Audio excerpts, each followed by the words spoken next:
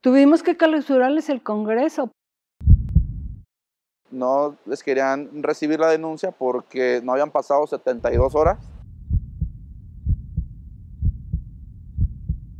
Es una ley muy abrazadora, es una ley muy garante. Tras un proceso de espera, de omisión. Se dio a base de consensos, de diálogo, de debates, de discusiones y verdaderamente de un ejercicio de un parlamento abierto, democrático, absolutamente.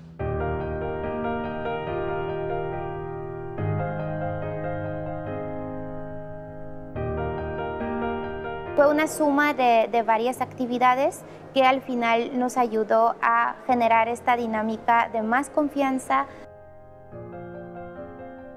Que nosotros lo expresáramos con nuestra voz en las mesas de trabajo para que nos entendieran desde el lado de las familias.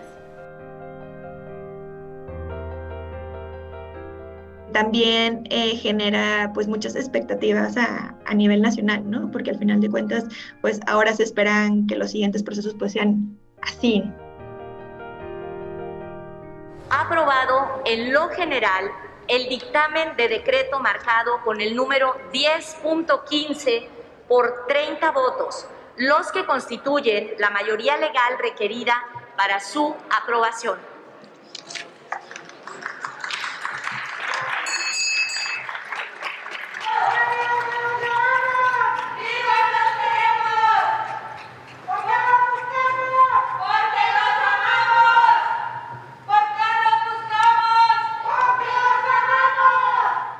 Las víctimas son todos los que se llevaron. Desgraciadamente, ¿Y qué vamos a hacer? ¿Cuándo nos los van a traer de regreso? Los estamos esperando.